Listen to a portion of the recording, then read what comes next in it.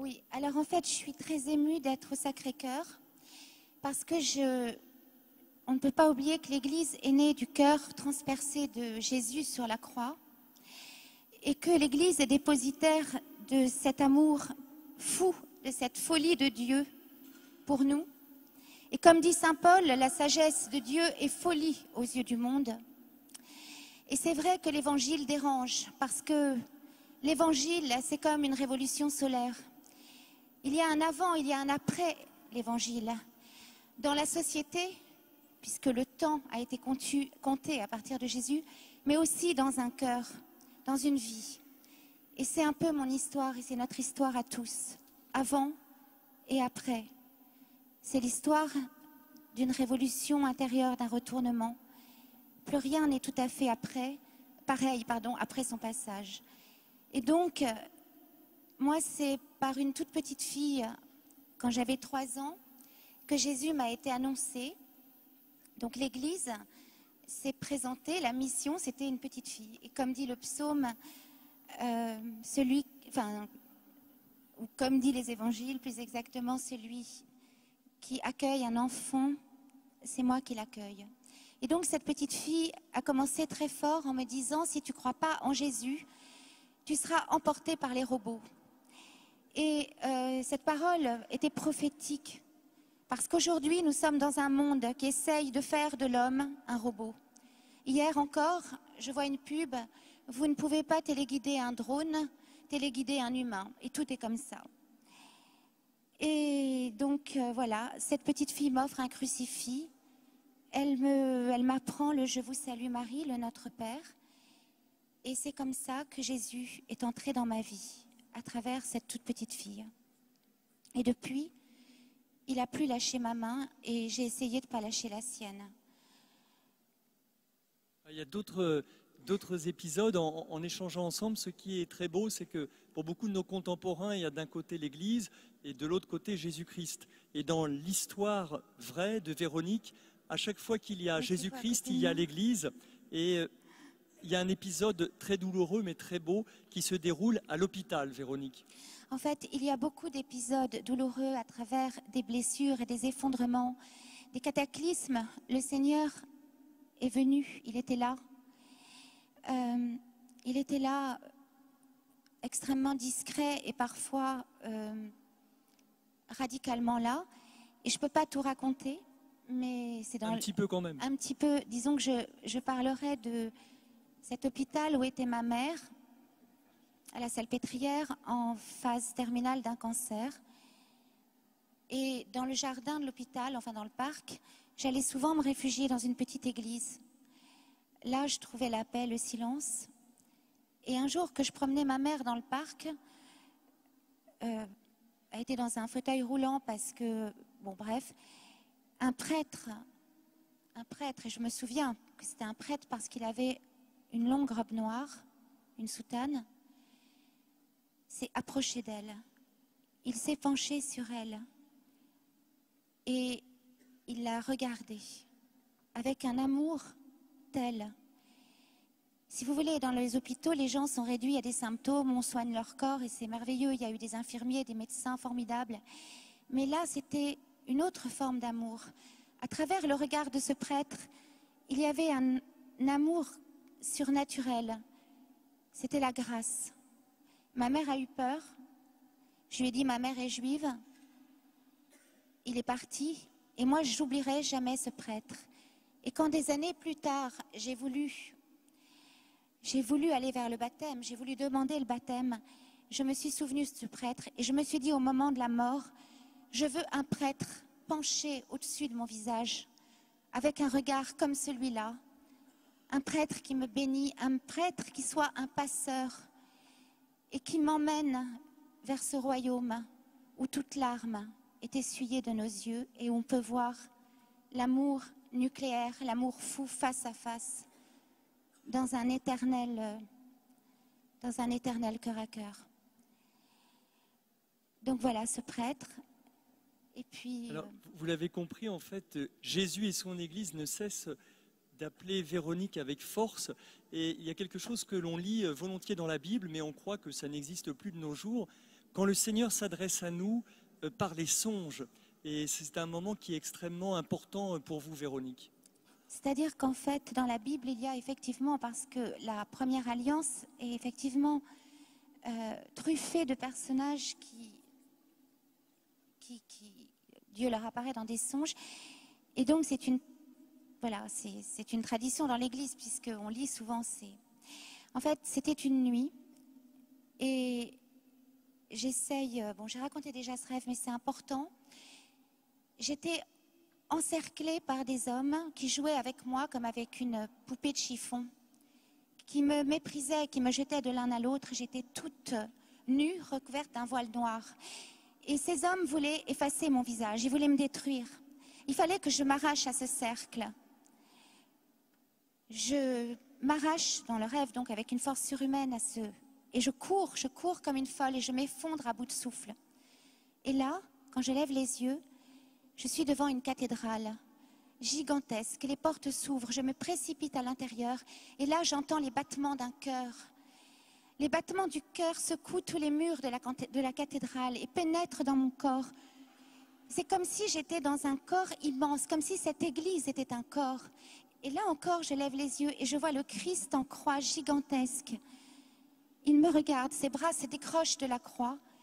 Ses mains se mettent face à moi et là j'entends cette parole qui sort de sa bouche. Que ton cœur de pierre devienne un cœur de chair. Et de ses deux mains transpercées sortent deux épées. Est-ce que c'était des épées de lumière? Je ne sais pas. Je ne bougeais plus, j'étais tétanisée. Les deux lames traversent la cathédrale tout au long de la nef et rentrent dans mon cœur. Et là, je me réveille. Je lirai beaucoup plus tard la parole d'Ézéchiel, quand Dieu lui dit, j'ôterai de ta poitrine ton cœur de chair et j'y mettrai un cœur, ton cœur de pierre, pardon, et j'y mettrai un cœur de chair. Et c'est vrai que ce- cette parole d'Ézéchiel annonce le baptême. Je ne l'avais jamais lue. Je ne l'avais jamais lue puisque dans ma famille, euh, c'était une famille juive non pratiquante, et puis chez les juifs, c'est surtout le Pentateuque qu'Ézéchiel euh, n'est pas lu. Et donc, je ne connaissais absolument pas cette phrase. Et, et je me suis réveillée, j'ignorais encore que le Seigneur m'annonçait ce cœur à cœur avec lui, m'annonçait qu'un jour je serais greffée à son cœur, à son cœur. Mais vous savez, il y a une parabole qui parle de la vigne. Quand Jésus dit, je suis la vigne, mon Père est le vigneron et vous, vous êtes les sarments. Et nous sommes les sarments greffés au cœur du Christ, mais nous sommes les sarments avec cette sève mystérieuse qui coule entre nous, parce que cette vigne, c'est le corps du Christ, l'Église. Et ça, il faut jamais l'oublier, parce que c'est dans cette Église que cette parole peut être dite et entendue. Et comme disait Jeanne d'Arc, de quelle Église parlez-vous De l'Église de la terre ou de l'Église du ciel? Parce que l'Église, elle, commence ici sur terre avec la Jérusalem terrestre, on peut dire, c'est cette Église, mais c'est aussi la Jérusalem du ciel dont parle Saint Augustin dans la Cité de Dieu. C'est la communion des saints qui n'a ni frontières. Et comme dit Saint Paul, il n'y a plus ni juif, ni païen, ni homme, ni femme. Vous êtes tous un dans le Christ. Et c'est ça qui est important. Ça n'est pas une religion communautaire comme dans le judaïsme. C'est une religion. Ça n'est pas. Enfin, c'est. c'est- une résurrection. Et euh, voilà. Alors, il y a un, moment, euh, pour terminer, qu'il faut absolument euh, évoquer, chère Véronique. Oui. C'est ce moment où vous vous approchez du baptême, mais avec des ultimes péripéties, où on voit que c'est vraiment la main de Dieu et la providence qui vous guident. En fait, euh, ce songe enfin, annonçait le baptême, mais il, annonçait aussi le cœur de Pierre qui serait broyé et qui deviendrait un cœur sanglant, un cœur ouvert, un cœur blessé, mais un cœur vivant. Et ce miracle s'est produit à travers une histoire d'amour, effectivement, un homme, un homme que j'ai aimé éperdument et qui m'a amené un jour dans une église s'appelle l'église Saint-Gervais qui est un monastère au cœur de la ville, fondé par Pierre-Marie Delfieux. C'est une communauté de moines et de moniales. Et cet homme m'y emmène. Quelque temps après, il me quitte. Mon cœur est totalement broyé, donc, mais vivant. Et je ne peux plus me résoudre à, vivre la vie que je vivais avant, parce que ce que j'ai pas dit, c'est que entre la mort de ma mère et la rencontre avec cet homme, il y a eu une vie désordonnée où j'irais de bar en bar, euh, comme je le dis dans le livre, c'est la valse des amours éphémères, enfin. Et avec cet amour-là, cet amour humain, je me suis, c'était comme une forme d'incarnation. La nature doit être assumée pour être sauvée, transfigurée par la grâce, et il fallait que j'aille jusqu'au bout de cet amour humain. Donc cet homme me quitte après m'avoir emmené à l'église Saint-Gervais, et là j'ai envie de, j'ose le dire, presque de, mourir. Mais tous les matins, je me lève après des nuits blanches et je vais dans cette église. Et tous les jours, tous les matins, je me blottis derrière les moines pendant les laudes, puisque c'est un monastère, et j'entends le chant des psaumes. Et je découvre la parole de Dieu chantée, incarnée par ces moines et ces moniales. Et cette parole, doucement, même très rapidement, me relève, me redonne la vie, me redonne la joie. Et au bout de 15 jours, je souris. Alors que, comme dit Brel, j'avais perdu des hommes, mais là j'avais cru perdre l'amour. Mais cet homme m'avait mené, avait rempli son rôle, il m'avait mené dans cette église. Et je, je me rends compte que le rêve se réalise, le songe, et que c'est l'amour du Christ. C'est cet amour-là que je cherchais, de visage en visage, de cœur en cœur, et que j'ai enfin atteint, comme dit le psaume, le port de mon désir, dans cette église. Voilà. Et aujourd'hui, je communie tous les jours parce que il est ma force, il est ma vie, il est mon amour, il est mon cœur qui bat au cœur du cœur de mon cœur. Et il avait dit, et il dit toujours, je suis, je venu allumer un feu sur la terre. Et non, l'Église n'est pas malade. Non, il y a de plus en plus de chrétiens, et moi je le sais, je le vois autour de moi. On ne le dit pas toujours. Il y en a partout qui se convertissent, certains qui ne le disent pas. Et euh, il y a des nouvelles communautés qui naissent, qu'elles soient charismatiques ou traditionnelles parfois, comme celle de l'abbé Loiseau. Et c'est très important. Et voilà, comme, euh, comme Marie-Madeleine, en fait, il m'a, il m'a relevé, il m'a guéri, il m'a.